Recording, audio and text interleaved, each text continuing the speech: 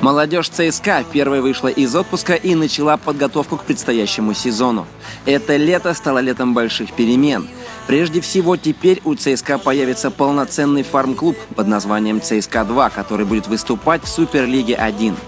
В составе ЦСКА-2 окажутся игроки молодежного проекта, а также более опытные ребята, которые уже не проходили по возрасту в молодежку и выступали в прошлом году на правах аренды за другие команды. Тренировать клуб Суперлиги будут Андрей Мальцев и Виктор Бережной. Мы собрали команду из воспитанников только молодежного проекта ЦСКА. Все здесь, ну, самый маленький у нас здесь Кондаков один год, а самый большой, по-моему, Остапкович, по-моему, 8 лет. Так что мы здесь все свои. И вот попробуем себя в мужском чемпионате. Мы выиграли с мужчинами. И максимально, наверное, я думаю, ускорит переход вот этих наших, так скажем, юных дарований. Или юных дарований, действительно. А в взрослую команду, чтобы они могли там себя уже проявлять в фоне мужского баскетбола.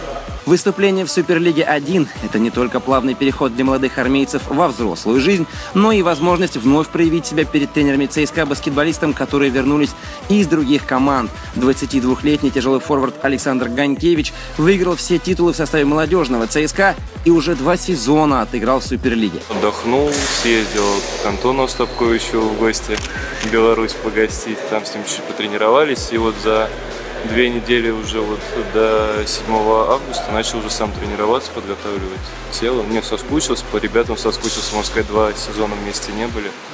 Конечно, очень соскучился. Когда пришел первый сезон в Суперлигу, я полсезона привыкал, потому что совсем все другое. И уровень, и контакт, и все совсем другое. Вот, но с Андреем Николаевичем мы точно хорошо сыграем, выступим. Так что я не сомневаюсь. за кадром, да, подсказал?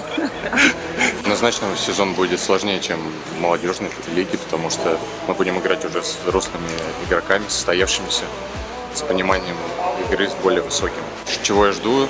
Получить опыт игры с этими игроками, понять свои силы, чтобы сравнить уже, насколько я хорош не против своих ровесников, а против взрослых игроков. В младшей возрастной категории также не обошлось без изменений. Команда, которая раньше называлась ЦСКА Дюбл, теперь будет носить название ЦСКА Юниор и иметь ограничения по возрасту до 19 лет. Главным тренером ЦСКА «Юниор» стал Максим Шарафан, а его помощником Антон Катаев. На предстоящий сезон задача стоит сложная – удержать чемпионский титул.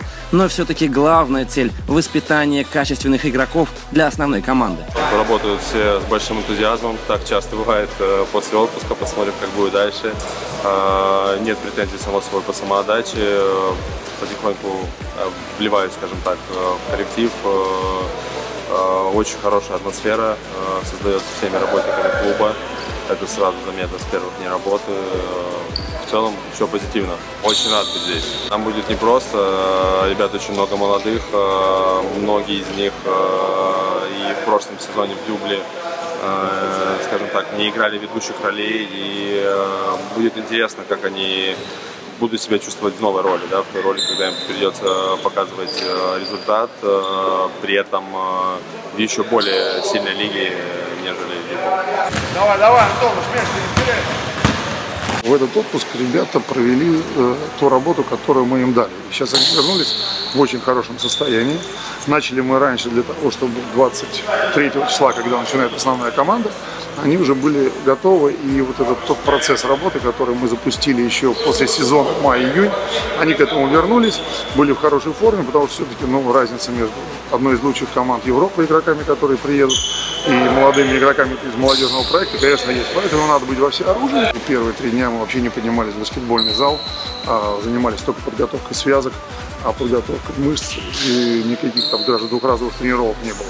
Плюс сейчас уже мы разделились, вот на четвертый день мы разделились на две группы, где есть старшие и младшие. Ребята есть, которые пришли на просмотр, которые мы смотрим, то есть из нашей, из Москвы, из других городов, из других стран даже приезжают. Мы смотрим, продолжается селекционная работа, но у нас получается, что практически никого мы в этом году так покупать сильно никого не будем. Вот, из кого нам могли, мы уже, наверное, всего купили уже весной и летом. Вот, но селекция продолжается. Свои домашние матчи и ЦСКА-2, и ЦСКА Юниор будут играть в универсально-спортивном комплексе ЦСКА. Расписание игр есть на нашем официальном сайте cskabasket.com. Обязательно приходите поболеть за молодых армейцев. В этом сезоне ваша поддержка им нужна как никогда. Выиграть, возможно, получится, но надо побороться. там уже будет. Там неизвестно, кто как сыграет. Может последнее место первое обыграть, первое там всем слить. Все возможно, мы можем выиграть, занять, войти в призеры можем. ЦСКА.